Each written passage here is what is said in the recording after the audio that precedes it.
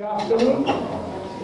Welcome at the Istituto per l'Applicazione del Calcolo. I am Roberto Natalini, the director of this institute. I'm uh, honored to host this uh, ceremony organized by the M&MoCS uh, for the prize uh, Medici. And that's also an honor to host here Marcel Raymond, who is a really terrific mathematician. And so uh, it's very nice to have her here at uh, the Institute uh, these days because uh, she was here for all the week in a row for a series of, a long series of conferences. Okay, so um, this uh, meeting will be recorded both in streaming and uh, um, for, for, uh, for the posterity and for, uh, for a movie which will be taken by the M&MoCS organization. So uh, if uh, you don't agree to be recorded, please exit from this room. because uh, we have no way, or you cover your face anyway, because we, you will be recorded. And now the, the, the the regulation is quite strict on this point. Uh, we put some uh, advertising outside to, to prevent people to enter this uh, area, which is now video recorded. And uh, we have two different uh, sources, two different cameras at this time. So after this announcement, uh, that's uh, a, a pleasure to, to give the, the stage to Mario Pulvirenti for the laudatio of uh, the prize. Okay, thank you. So, morning, welcome. So, this morning I tried to write a few words. Mettete un passo indietro così guardo in quella camera. Dove devo guardare? Lì, perfetto. Uh, to prepare some sketch for the laudatio. After five minutes I stopped because I have to write too many things, basically. So I make uh, the choice to do something uh, more informal. So I know uh, since a long time.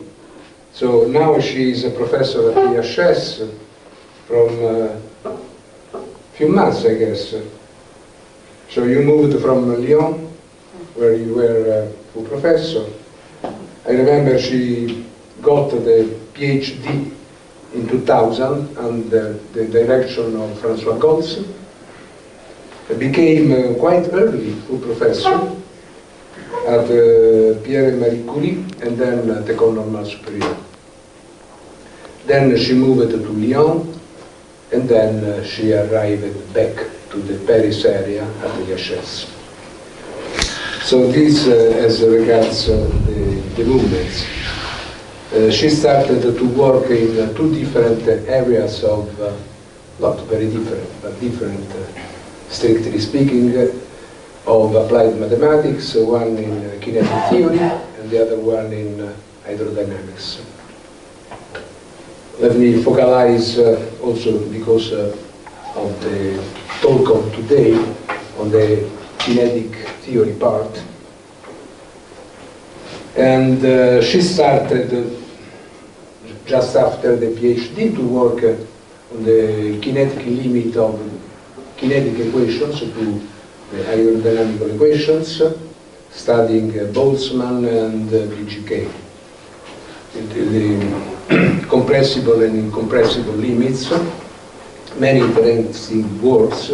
So let me mention that uh, she got uh, very many uh, acknowledgements, prizes, that should be very, very long to enumerate.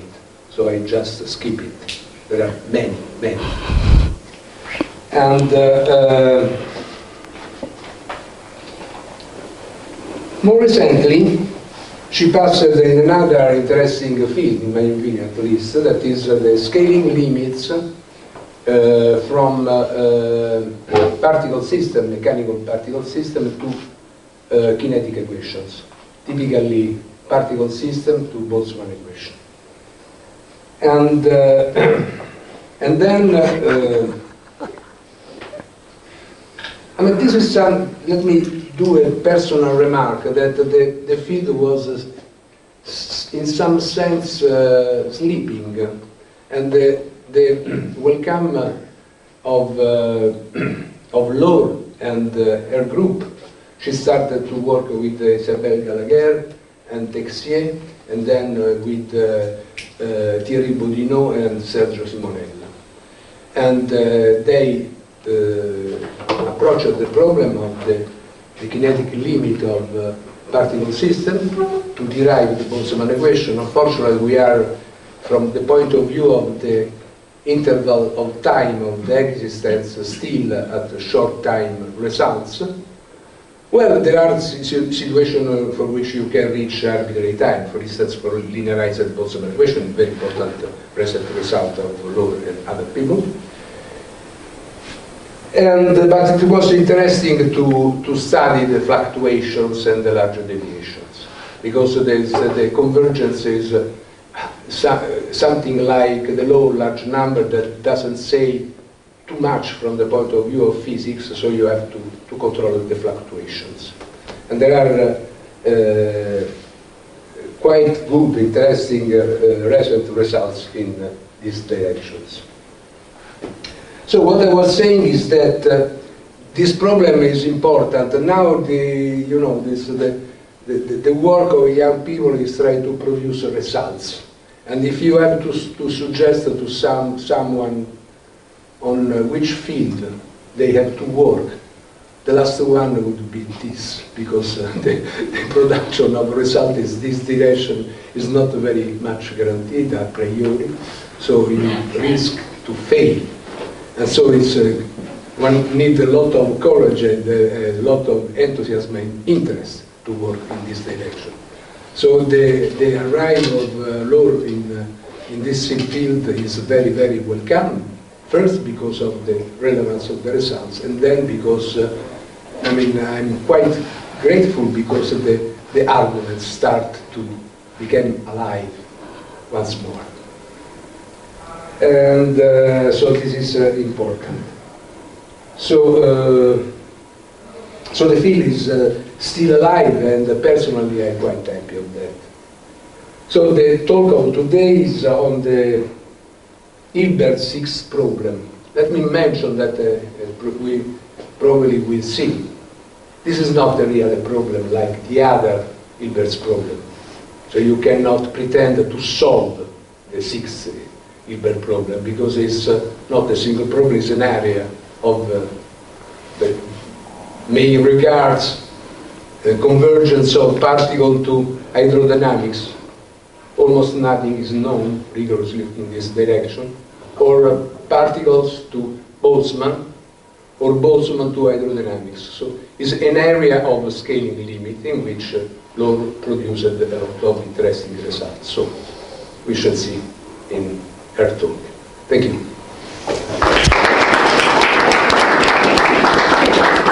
Is there a clock somewhere?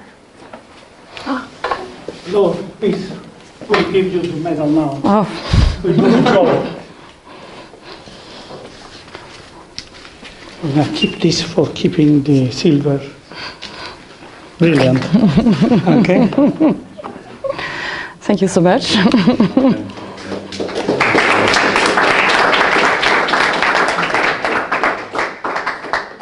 I want to mention that this beautiful parchment has been invented by one of the prize uh, recipients. Okay. uh, Mauro Carfora. Okay. So we shoot a picture, maybe. okay. So I will simply give few words for telling that the uh, M&MoCS Research Center, of which I am director, tries to revive the spirit of Levi Civita, who was a man interested in uh, higher mathematics but also in applications. He was a man whose interest spanned from abstract mathematics up to designing of engineering objects. And he was the leader of a group in which many applicable mathematical results were developed. And I think that, as usual in Italy, we are underestimating uh, his contributions, which uh, I think the personality deserves more attention than it is given. Of course, uh, everybody knows that he, he has lost his position at the University of Rome because of the racist laws by Mussolini. Okay. So I don't believe I deserve to lose your time anymore, and I let you the floor.